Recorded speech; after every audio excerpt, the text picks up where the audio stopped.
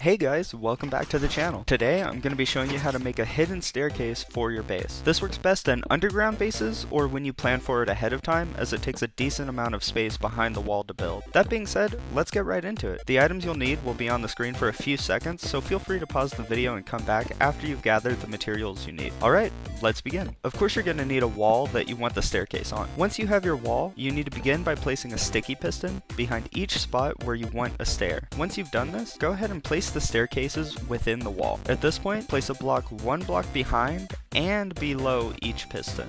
This will be used to hold the repeaters. Then, wire up a redstone line to connect all the repeaters up.